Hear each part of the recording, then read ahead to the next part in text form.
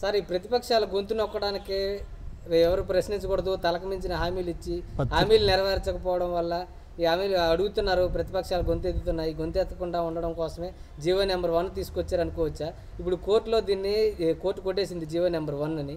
ఇలా ఇది ప్ర- ప్రజాస్వామ్యంలో ఇలా ప్రజల హక్కులు కాల రాస్తున్నారు ఈ జీవో నెంబర్ పనిచేయదని చెప్పి జీవో నెంబర్ వన్ కొట్టేసింది కోర్టు. దీనిపైన మీ అభిప్రాయం ఏంటి? గవర్నమెంట్కి చెంపపెట్టి అనుకోవచ్చా ఎలక్ట్రానిక్ మీడియా వరకు నమస్కారం. నా పేరు బొద్దా త్రినాథరావు రాష్ట్ర బీసీసీఆర్ అధికార ప్రతినిధి.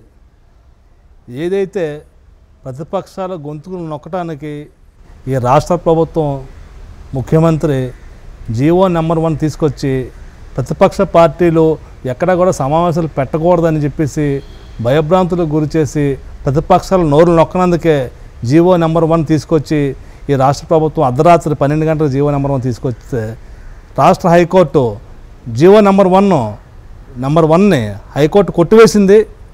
ఇది రాజకీయ పార్టీలు కాదు ప్రజల తాలూకా పౌర హక్కులను భంగం కలిగించే విధంగా ఉందని చెప్పేసి జీవో నెంబర్ వన్ కొట్టివేసిన సందర్భంగా తెలుగుదేశం పార్టీ నాయకుడిగా హర్షం ప్రకటిస్తాను తెలియజేస్తున్నాం స్పందన ఉంది సచివాలయం ఉంది ఎంఆర్ ఆఫీసులు ఉన్నాయి. ప్రతి శాఖకి ఒక్కొక్క టోల్ ఫ్రీ నెంబర్ అంటూ ఉంది. ఈ టోల్ ఫ్రీ నెంబర్లో సోమవారం సోమవారం స్పందన కార్యక్రమం నిర్వహిస్తూ ఉంటారు. ఈ వినతలు స్వీకరించడమే తప్ప కానీ పరిష్కారం కాలేదు. ఇప్పుడు కొత్తగా zero nine one zero nine two అని చెప్పి జగనన్నకు చెబుదామని చెప్పి ఒక టోల్ ఫ్రీ నెంబర్ని పెట్టి తీసుకొచ్చారు. ఈ టోల్ ఫ్రీ నెంబర్ వల్ల ప్రజల ప్రాబ్లమ్స్ ఏమైనా క్లియర్ అయ్యేటట్టు ఉన్నాయా? ఏం ఏం చెప్తారు సార్? టోల్ ఫ్రీ నెంబర్ ఎందుకండి? ప్రతి సోమవారం కలెక్టరేట్లో స్పందన కార్యక్రమం చేస్తున్నారు. సచివాలయాలు ప్రతి ప్రాంతంలో పెట్టారు. మళ్ళీ టోల్ ఫ్రీ నెంబర్ అంటే మీ సచివాలయాలపై మీకు నమ్మకం లేక టోల్ ఫ్రీ నెంబర్ పెట్టారా? మీ సచివాలయాలు స్పందన కార్యక్రమానికి మీ నమ్మకం లేకపోతే మీ టోల్ ఫ్రీ నెంబర్ మీ ఎమ్మెల్యేలకు ఇవ్వండి. ముందు మీ ఎమ్మెల్యేలకు అపాయింట్మెంట్ అవ్వడానికి వన్ జీరో నైన్ టూ మీ ఎమ్మెల్యేలకు ఇస్తే వన్ జీరో నైన్ టోల్ ఫ్రీలో మీ ఎమ్మెల్యేలు మాట్లాడతారు. మీ ఎమ్మెల్యేలకు అపాయింట్మెంట్ లేదు మీ దగ్గర. టోల్ ఫ్రీ నెంబర్ పెట్టి ఎవరికి అపాయింట్మెంట్ ఇస్తారు? స్పందన కార్యక్రమంలో ఏ సక్సెస్ అవుతున్నాయి ఏ సమస్యలు పరిష్కారం అవుతున్నాయి సచివాలయంకి పోతే ఏ సమస్యలు పరిష్కారం అవుతున్నాయి గ్రామాల్లో విలేజ్లో సచివాలయాలు పెట్టారు మళ్ళీ జనాలందరూ స్పందనలోని ఎంఆర్ఓ ఆఫీస్ చుట్టూ తిరుగుతున్నారంటే అక్కడ కార్యక్రమాలు పనులు జరగడం లేదు ప్రజలకి. ప్రజలకి సచివాలయాల్లో నమ్మకం లేక మీరు టోల్ ఫ్రీ నెంబర్ పెట్టారా? లేదా సచివాలయాలు మీరు పెట్టిన సచివాలయాల మీద మీకు నమ్మకం లేదా? లేదా మీ వాలంటీర్ వ్యవస్థ మీద మీకు నమ్మకం లేదా? ఎందుకు టోల్ ఫ్రీ నెంబర్ పెట్టారు? ఆ టోల్ ఫ్రీ నెంబర్ మీ ఎమ్మెల్యేలకు ఇస్తే మీ ఎమ్మెల్యేలు ఫోన్ చేసి టోల్ ఫ్రీలో టోల్ ఫ్రీలో మాట్లాడతారు. మీరు అంతే తప్పించి టోల్ ఫ్రీ నెంబర్ వల్ల ఎటువంటి ఉపయోగం లేదు. గ్రామాల్లోకి వెళ్తే గ్రామ సచివాలయాలు పెట్టారు. అదేవిధంగా ఎంఆర్ఓ ఆఫీసులు పెట్టారు. ఒకరిగా స్పందన కార్యక్రమాల్లో ఏ సమస్యలు పరిష్కారం కావడం లేదు. మీ one zero nine two toll free number వల్ల ఎటువంటి సమస్యలు పరిష్కారం కాదు. ఇంకా మీకు అవకాశం ఉంటే గ్రామ సచివాలయాల్లో అన్ని డిపార్ట్మెంట్లు పెట్టారు. ఏ డిపార్ట్మెంట్లో ఉద్యోగులు కూడా ఏ ఏ డిపార్ట్మెంట్ అవగాహన లేదు ముఖ్యంగా వాళ్ళకి. ఒక లీగల్ సర్టిఫికేట్ కానివ్వండి ఒక డేట్ ఆఫ్ బర్త్ సర్టిఫికేట్ కానివ్వండి మిగతా ఎటువంటి సమస్యలకు వెళ్తే మాకు తెలియదని చెప్తున్నారు వాళ్ళు. ఒక ప్లాన్ అప్రూవల్ పెట్టుకుంటే జీవీఎంసీలో మళ్ళీ జీవీఎంసీ చుట్టూ తిరుగుతున్నారు సజ జోనల్ ఆఫీస్ జోనల్ కమిషనర్ చుట్టూ జోనల్ ఆఫీస్ చుట్టూ తిరుగుతుంది. ఎందుకు? సచివాలయాలు సమస్యలు పరిష్కారం కాకే మళ్ళీ జోన్ ఆఫీస్ జోనల్ ఆఫీస్ తిరుగుతున్నా తప్పించేసి వన్ జీరో నైన్ టూ వల్ల ఎటువంటి ఉపయోగం లేదని తెలియజేస్తున్నాం. ఇప్పుడు వేల కోట్ల సంక్షేమ పథకాల ద్వారా వేల కోట్ల రూపాయలు బటన్ నొక్కుతున్న నేరుగా బెనిఫిషరీస్కి వెళ్తున్నాయని చెప్పేసి అంటున్నారు. ఈ సంక్షేమ పథకాల వల్ల ఏమైనా ఉపయోగం ఉందా? ఈ సంక్షేమ పథకాలు ఇవ్వడం వల్ల మీరు నూట డెబ్బై ఐదు నూట డెబ్బై ఐదు గెలుస్తామని ఆశతో ఉన్నారు. ఏమంటారు సార్ మీరు? ఈ సంక్షేమ పథకాలు మీరు బటన్ నొక్కుతున్నారు కానీ ముప్పై శాతం వస్తున్నాయి ప్రజలకి డెబ్బై శాతం ఎక్కడికి వెళ్తున్నాయి?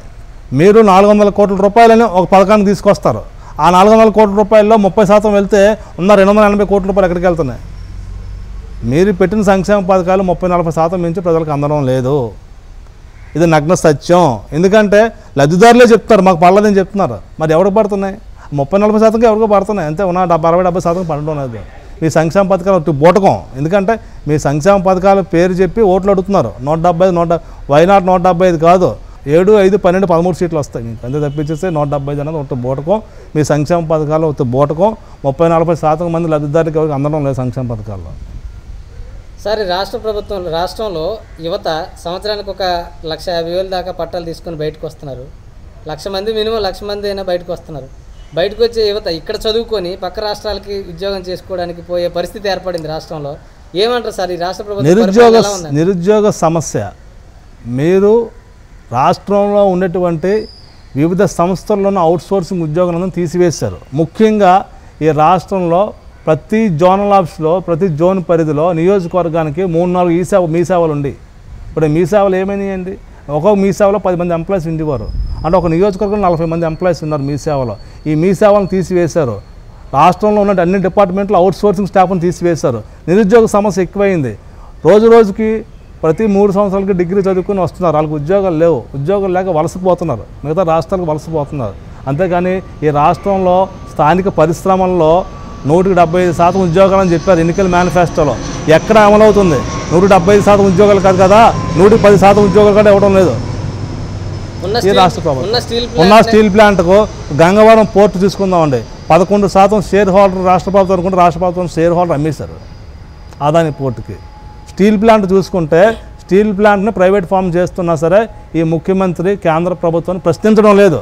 మెడలు మెడలో ఉంచుతున్నారు ఇతను వెళ్ళి మెడలో ఉంచేస్తున్నారు వాళ్ళ దగ్గర అమిత్ షా దగ్గర మోడీ దగ్గర. అంతే తెప్పించేసి ఎటువంటి రాష్ట్రానికి ఉపకారం లేదు.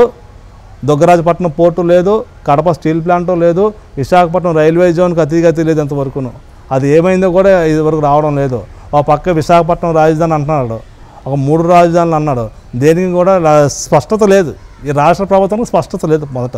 ఇంకా త్వరలో ఎన్నికలు అంటున్నారు. ఈ సెప్టెంబర్ అక్టోబర్లో గవర్నమెంట్ వద్దు డిసెంబర్లో ఎన్నికలు అంటున్నారు. ఇంకా మూడు నాలుగు నెలలు పరిపాలిస్తారు. అని తప్పించి రాష్ట్ర ప్రభుత్వానికి ఓటు అడిగే నైతిక హక్కు ఈ పార్టీకి లేదు అని తెలియజేస్తున్నాం.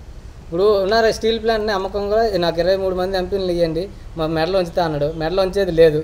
ఉన్న స్టీల్ ప్లాంట్ని అమ్మకం చేస్తున్నారు. ఈ స్టీల్ ప్లాంట్ని కాపాడుకోలేదు. కొత్తగా ఇండస్ట్రీస్ పెడతామని చెప్పేసి ఇండస్ట్రీస్ సబ్మిట్ పెట్టారు. పదమూడు లక్షల కోట్ల రూపాయలు ఎంఓఎల్ కుదిరే అన్నారు. ఇంతవరకు ఏమైనా కంపెనీలు వచ్చాయి సార్? ఏమంటారు ఒక్క పరిశ్రమ కూడా రాలేదు రాష్ట్రంలో. ఒక ఎంఓయూ కూడా పూర్తిగా జరగలేదు. అవన్నీ కూడా అలా ఫైల్స్ మీద ఉన్నాయి. తప్పించేసి పరిశ్రమలు అయితే తీసుకొచ్చే స్తోమత ముఖ్యమంత్రికి లేదని తెలియజేస్తుంది